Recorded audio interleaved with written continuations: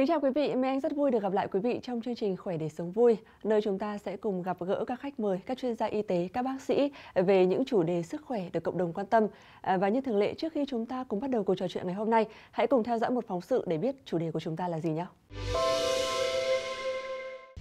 Đột quỵ còn được gọi là tai biến mạch máu não. Đây là tình trạng bộ não bị tổn thương nghiêm trọng do quá trình cấp máu não bị gián đoạn hoặc giảm đáng kể khiến não bị thiếu oxy, không đủ dinh dưỡng để nuôi các tế bào. Trong vòng vài phút nếu không được cung cấp đủ máu, các tế bào não sẽ bắt đầu chết. Theo Hội đột quỵ Việt Nam, mỗi năm tại Việt Nam có khoảng 200.000 người bị đột quỵ và khoảng 20% trong số đó tử vong. Đáng chú ý, tỷ lệ người trẻ đột quỵ đang có xu hướng gia tăng khi xuất hiện ở độ tuổi dưới 45-50. Theo số liệu từ khoa nội thần kinh, bệnh viện Quân y 175 thành phố Hồ Chí Minh, trong vài năm gần đây, trung bình cứ 4 đến 5 bệnh nhân đột quỵ nhập viện thì có một bệnh nhân là người trẻ. Mỗi ngày, tại bệnh viện tiếp nhận 8 đến 10 bệnh nhân đột quỵ, trong đó người trẻ mắc bệnh chiếm từ 20% đến 25%. Con số đột quỵ ở người trẻ tăng nhanh nhưng rất nhiều người vẫn rất chủ quan. Đặc biệt, theo các chuyên gia, đột quỵ là kết quả của các yếu tố nguy cơ diễn tiến âm thầm kéo dài trước đó mà bệnh nhân, đặc biệt là người trẻ thường chủ quan không ngờ tới. Có thể nói rằng đột quỵ là một biến chứng sức khỏe nguy hiểm. Đột quỵ sẽ đến rất nhanh và có khả năng đến với bất kỳ một ai. Và những năm gần đây, đột quỵ xảy ra ở người trẻ đã khiến cho mọi người vô cùng hoang mang và lo lắng. Vậy để hiểu hơn về đột quỵ cũng như là những cách phòng tránh, xin mời quý vị hãy cùng gặp gỡ vị khách mời ngày hôm nay. Chúng tôi xin được giới thiệu thạc sĩ bác sĩ Đinh Trung Hiếu, Trung tâm đột quỵ Bệnh viện Bạch Mai. Rất là cảm ơn anh ngày hôm nay đã tham gia chương trình và hy vọng rằng trong khoảng thời gian diễn ra chương trình thì chúng ta có thể cung cấp được thật nhiều thông tin hữu ích dành cho quý vị khán giả. Câu hỏi đầu tiên xin được dành cho bác sĩ là bác sĩ có những nhận định và đánh giá như thế nào về tình trạng đột quỵ tại Việt Nam hiện nay ạ? Trước hết thì để nhận định về tình trạng bệnh nhân đột quỵ ở Việt Nam thì chúng ta hãy nhìn ra thế giới trước. Ừ. Thế thì thời điểm hiện tại trên thế giới đột quỵ gần như được coi là một đại dịch. Ừ. Và theo người ta ước tính mỗi năm có khoảng độ 12 triệu bệnh nhân đột quỵ mới mắc và cái tỷ lệ và số lượng bệnh nhân đột quỵ ngày càng gia tăng. Và thời điểm hiện tại thì đột quỵ không phải là căn nguyên gây tử vong hàng đầu, nhưng bệnh nhân đột quỵ thì lại có tỷ lệ tàn phế rất là cao. Thống kê của tổ chức đột quỵ thế giới người ta thống kê có đến 60% bệnh nhân đột quỵ bị tàn phế. Và cái tỷ lệ đó ở những cái quốc gia mà có thu nhập thấp và trung bình thì nó còn thậm chí còn cao hơn, có thể lên từ 89 90% thì ở Việt Nam thì chúng ta chưa có những con số thống kê nó mà chi tiết đến gọn như vậy. Nhưng mà theo những ước tính, mỗi năm chúng ta có khoảng trên 200.000 bệnh nhân mới mắc. Và trong số bệnh nhân, những bệnh nhân mới mắc đó thì có tất cả các lứa tuổi từ những người đột quỵ rất là trẻ tuổi dưới 4 năm tuổi, đột quỵ ở người trung niên từ tức là từ 4 năm đến 70 và đột quỵ ở người cao tuổi tức là đột quỵ trên trên 70 tuổi. Đúng như những gì mà bác sĩ chia sẻ là đột quỵ diễn ra ở hầu hết mọi lứa tuổi. Nhưng mà có một cái xu hướng trong khoảng thời gian gần đây, một vài năm gần đây thì thấy rằng số lượng bệnh nhân đột quỵ ở độ tuổi khoảng 20 thì lại nhiều hơn trước rất là nhiều. Vì sao lại có cái tình trạng như vậy? Mọi người cũng đều biết là trong sách báo rồi trong tài liệu y văn đều nói đến tỷ lệ đột quỵ thì gia tăng theo từng độ tuổi. Tuy nhiên đến cái thống kê của Hiệp hội đột quỵ thế giới năm 2019 thì người ta lại ghi nhận tới 63% bệnh nhân đột quỵ là có độ tuổi dưới 70. Vậy như vậy thì đột quỵ có lẽ cũng không còn là một bệnh của riêng người già nữa. Về nguyên nhân gây đột quỵ thì có rất nhiều nguyên nhân. Có những nguyên nhân liên quan đến lối sống, ví dụ như là những lối sống bệnh nhân ít, người ta ít vận động, chế độ ăn nhiều nhiều năng lượng, thừa cân béo phì, hoặc người bệnh sử dụng hút thuốc lá, hoặc là người ta sử dụng các chất kích thích. Mà rõ ràng những cái yếu tố này thì thời điểm hiện tại ở người trẻ tuổi đang có sự phổ biến ngày càng tăng lên. Thứ hai nữa là các bệnh lý chuyển hóa. Thì các bệnh lý chuyển hóa bao gồm có bệnh lý tiểu đường, mỡ máu và rối loạn lipid. Thì mọi người đều thấy là cái, những cái bệnh lý chuyển hóa đó cũng có sự trẻ hóa về độ tuổi. Đấy đều là những yếu tố nguy cơ trực tiếp gây đột quỵ và đột quỵ ngày càng trẻ hơn. Thời điểm hiện tại thì y tế có sự phát triển hơn, nhận thức của cộng đồng về đột quỵ cũng có, cũng tốt hơn trước đây rất là nhiều. Nhiều bệnh nhân đột quỵ người ta được được phát hiện, được quản lý từ rất là sớm và như vậy thì chúng ta sẽ thấy tỷ lệ đột quỵ ở người trẻ tuổi có sự gia tăng hơn so với trước đây. Theo những gì mà bác sĩ phân tích thì có thể thấy rằng một phần nguyên nhân là do lối sống của những người trẻ hiện nay. Vậy là không biết ờ, trong quá trình thăm khám và điều trị cho các bệnh nhân thì có một cái trường hợp đột quỵ nào mà khiến cho bác sĩ rất là ấn tượng cực kỳ ghi nhớ không ạ? Mình có một trường hợp bệnh nhân rất là ấn tượng. Đến tận bây giờ trong bao nhiêu năm mình công tác thì mình có một trường hợp nhưng có lẽ cậu này thì vấn đề không phải là từ những cái lối sống như như vừa mình chia sẻ. Thế thì có một bệnh nhân mình trực là một bệnh nhân có 31 tuổi thôi, nam giới, cậu ấy là một người quê xa quê cụ thể ở một tỉnh miền Trung cậu đi ra Hà Nội là cậu làm thợ sửa điện nước sửa thuê thôi ở cùng toàn bạn bè không có người thân gì cả thế một hôm đến buổi sáng thì ờ, cậu ấy được đồng ờ, được những người ở cùng thôi đưa vào với tình trạng là hôn mê và liệt hoàn toàn nửa người. Khi mà bệnh nhân đi vào viện thì ngay lập tức thì các bác sĩ ở phòng cấp cứu đột quỵ, mình triển khai cái quy trình cấp cứu bệnh nhân đột quỵ cấp cho bệnh nhân chụp phim một cách nhanh nhất và kết quả là bệnh nhân có tắc một cái mạch máu lớn ở trên não. Ờ, ở mạch máu đó thì cấp máu cho cả nửa não Vậy thì đối với một bệnh nhân trẻ tuổi như vậy, tắc một mạch máu lớn như vậy thì cái nguy cơ tổn thương não hình thành rất là nhanh. Cái thứ hai là khả năng cao bệnh nhân cậu này sẽ có tàn phế, sẽ có cái những di chứng rất là nặng nề sau này. Lúc bấy giờ cái khó của bệnh nhân này là có một cái khó nữa là người bệnh nhân không có người thân, không có người quyết định ở tại thời điểm đó. Vậy thì mình chỉ có thể liên hệ được với bệnh nhân, vợ bệnh nhân qua điện thoại và ngay lập tức lúc đấy rồi mình phải đưa ra quyết định là xin phép ban ý kiến của ban lãnh đạo bệnh viện lãnh đạo khoa và quyết định triển khai kỹ thuật và làm can thiệp lấy huyết khối cho cậu ấy luôn. Và kết quả rất là may mắn thì sau khi ờ, điều trị xong cho cậu ấy thì gần như cậu ấy hồi phục hoàn toàn. Từ đó trở đi thì cứ định kỳ cậu ấy lại đến trung tâm đột quỵ kiểm tra. Có khi có những mùa đông trời rét như thế nên cậu vẫn đi xe máy hoặc thậm chí cậu thuê xe ôm đi ra trung tâm đột quỵ khám. Mình vâng. rất ấn tượng cả đó đến thời điểm hiện tại Tại vì gần như là lúc đó thì mình đã mang đến một cuộc đời mới cho bệnh nhân đấy rồi. Nếu bệnh nhân không được can thiệp kịp thời thì có lẽ bệnh nhân đó có cái di chứng không những là liên quan đến vận động nhận thức mà có thể còn đe dọa tính mạng của cậu ấy nữa. Cá nhân tôi khi mà nghe câu chuyện này thì tôi cũng cảm thấy rất là mừng. Nhưng mà thực tế không phải là bệnh nhân nào cũng có được sự may mắn như vậy. Và như chúng ta cũng có nói là đột quỵ thì không loại trừ bất cứ một đối tượng nào cả. Chính vì vậy mà việc chúng ta trang bị những kiến thức về đột quỵ thì có lẽ không bao giờ là thừa thãi đúng không ạ? À, vậy để có thể giải thích một cách chi tiết hơn, cụ thể hơn, bắt đầu từ khái niệm đột quỵ đi ạ thì bác sĩ có thể chia sẻ về khái niệm này dành cho quý vị khán giả. Đột quỵ là tình trạng mà gián đoạn cung cấp máu cho một phần của não bộ. Vậy thì kết quả là cái phần não đó sẽ thiếu oxy và tế bào sẽ chết hoặc là sẽ bị tổn thương một phần. Đột quỵ sẽ chia ra làm hai cái nguyên nhân chiếm ưu thế nhất. Đấy là nhóm thứ nhất là nhóm đột quỵ do thiếu máu não bởi vì cái cục máu đông gây tắc mạch. Thế thì nhóm này được gọi là nhồi máu não. Nhồi máu não thì uh, kết quả định nghĩa của nhồi máu não được người ta gọi là những thiếu sót thần kinh do tình trạng tắc mạch máu ở, ở trên não gây ra. Và đây là cái loại đột quỵ chiếm tỷ lệ cao nhất. Nó chiếm tới trên 80% các loại đột quỵ não. Và đến thời điểm hiện tại thì về mặt nguyên nhân thì người ta chia ra làm năm nhóm nguyên nhân khác nhau. Nguyên nhân thứ nhất đấy là sơ vữa các động mạch lớn ở trên não. Thứ hai là sơ vữa nó tắc các động mạch nhỏ ở trên não. Thứ ba nữa là các cái huyết khối nó không phải ở mạch động mạch mà nó từ tim nó di chuyển lên thứ tư là các cái căn nguyên hiếm gặp và cuối cùng là có khoảng 25% là người ta không xác định được nguyên nhân. Về cái nhóm thứ ờ, cái phân loại đột quỵ thứ hai đấy là đột quỵ chảy máu vào não. Đột quỵ chảy máu vào não là tình trạng xuất hiện những khối máu tụ ở trong nhu mô của não và khối máu tụ đó sẽ gây ra triệu chứng cho người bệnh. Loại này thì chỉ chiếm khoảng 20% đến 25% tổng số bệnh nhân đột quỵ mà thôi. Ở người cao tuổi đột quỵ trên ở những người trên 70 tuổi thì hai nhóm nguyên nhân hàng đầu gây ra nhồi máu não là các nguyên nhân liên quan đến sơ vữa, có thể sơ vữa mạch máu lớn hoặc là sơ vữa mạch máu nhỏ. Còn đối với nguyên nhân gây chảy máu ở người cao tuổi thì lại chủ yếu là do tăng huyết áp. Đấy.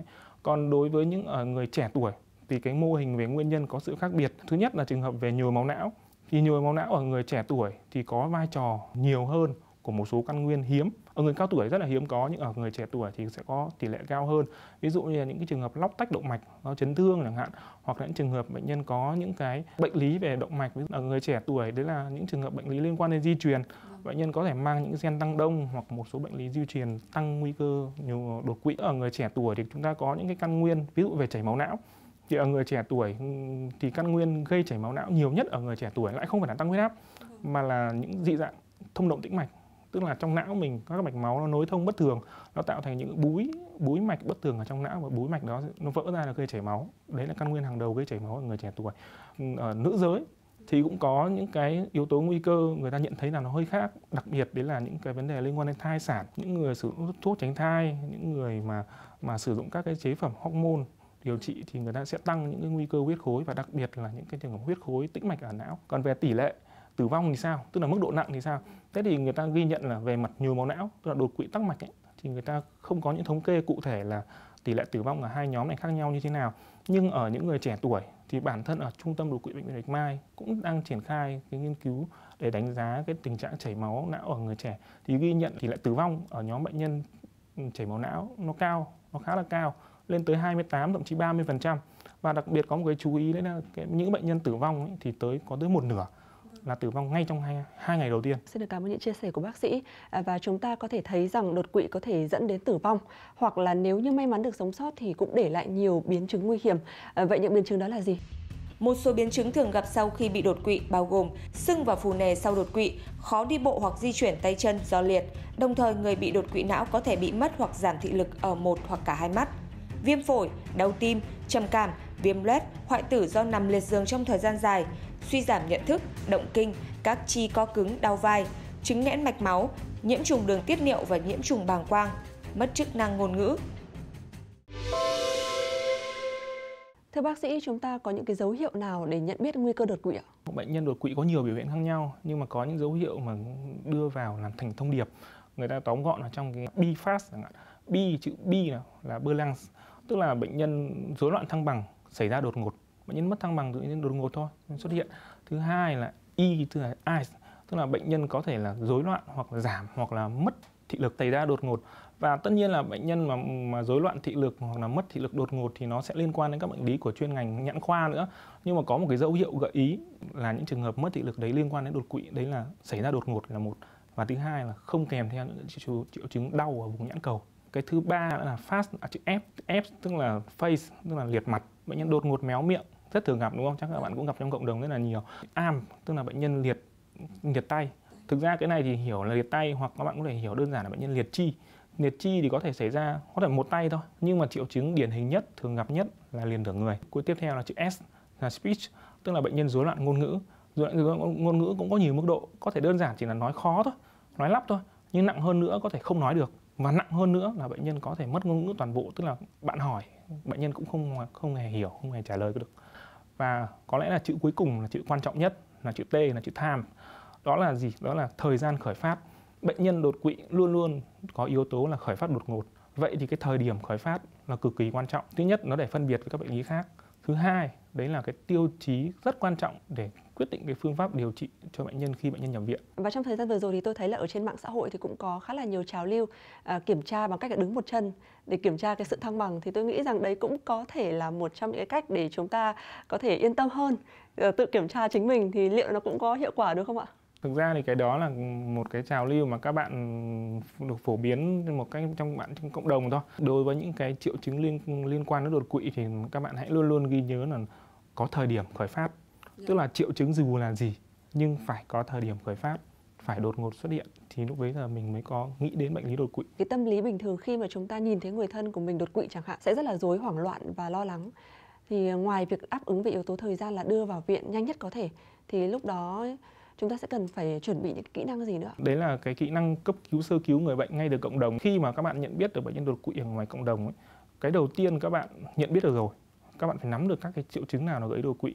Thứ hai là bệnh nhân đột quỵ lúc khởi phát rất hay có những rối loạn ý thức hoặc rối loạn về mặt các cái chỉ số sinh tồn ví dụ như nhịp tim nhịp thở chẳng hạn nếu phát hiện bệnh nhân mà ngừng thở ngừng tim rồi thì câu chuyện đầu tiên là phải cấp cứu ngừng tuần hoàn ở ngoài cộng đồng đã đấy sau đấy thì nếu mà tình trạng bệnh nhân cho phép thì ngay lập tức các bạn ấy hãy gọi tới 115 hoặc các bạn hãy liên hệ tới các cái đơn cơ sở y tế hoặc trung tâm đột quỵ gần nhất rồi sau đó nhanh chóng vận chuyển người bệnh đến càng sớm càng tốt. Chúng ta đã nói nhiều về nguyên nhân này, về dấu hiệu, về triệu chứng, về cách điều trị. Nhưng mà điều quan trọng nhất có lẽ phải là cách phòng tránh. Vậy để có thể phòng tránh được đột quỵ có thể xảy ra với chúng ta thì sẽ cần có những lưu ý gì trong cuộc sống ạ? Có lẽ cái đầu tiên phải nói là phòng bệnh thì hơn chữa bệnh. Tức là các bạn phải phải tập trung điều chỉnh các cái yếu tố nguy cơ của các bệnh lý sẵn có để hạn chế nguy cơ đột quỵ ngay từ khi nó còn chưa xảy ra. Các yếu tố nguy cơ là những yếu tố nguy cơ có thể thay đổi được. Ví dụ như lối sống thì các bạn rõ ràng các bạn phải duy trì một lối sống lành mạnh, hạn chế khói thuốc, hạn chế chất kích thích. Thứ hai nữa là các bạn phải kiểm soát các cái bệnh lý các bạn sẵn có, ví dụ như các bệnh lý chuyển hóa hoặc các, đặc biệt là các bệnh lý liên quan đến tim mạch như là rối loạn nhịp tim, dung nhĩ hoặc là những cái bệnh lý van tim là các bạn phải phải kiểm soát thủ chặt chẽ thì như vậy thì bạn các bạn mới giảm thiểu nguy cơ được. Khi nhắc đến đột quỵ thì ai rất là sợ.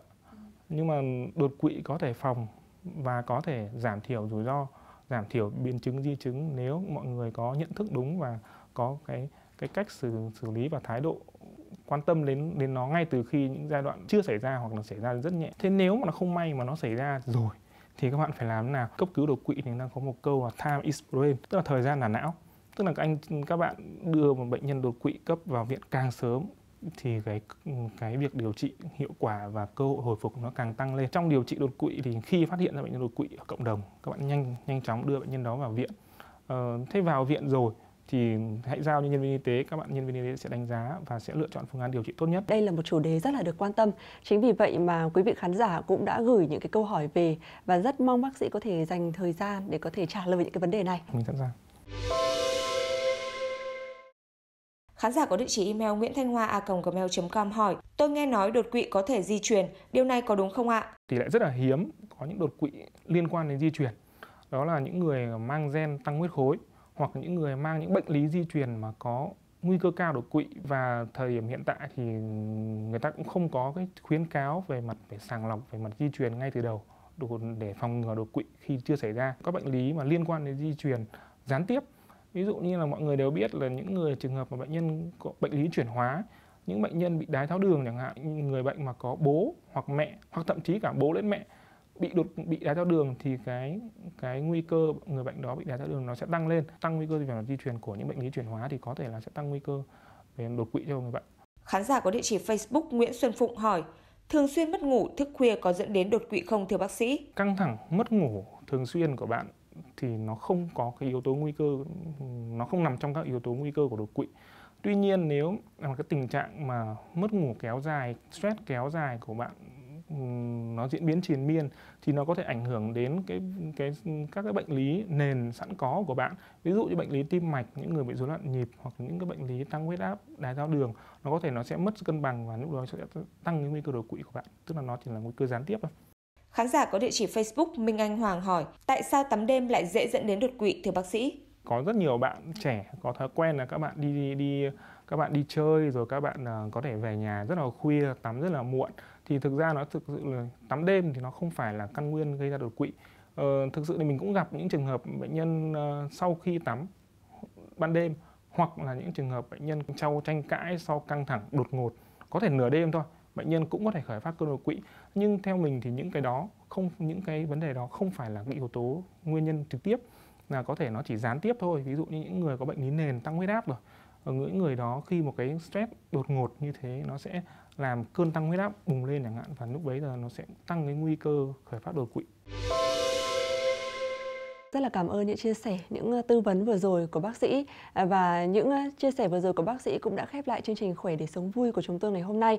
Chúng tôi rất hy vọng rằng trong khoảng thời gian của chương trình đã có thể cung cấp cho quý vị thật là nhiều những kiến thức cũng như là những giải pháp và cách phòng tránh đột quỵ. À, và đến đây thì thời lượng dành cho chương trình cũng đã kết thúc rồi. À, một lần nữa xin được cảm ơn bác sĩ, xin được cảm ơn quý vị khán giả đã quan tâm theo dõi. Kính chào tạm biệt và hẹn gặp lại.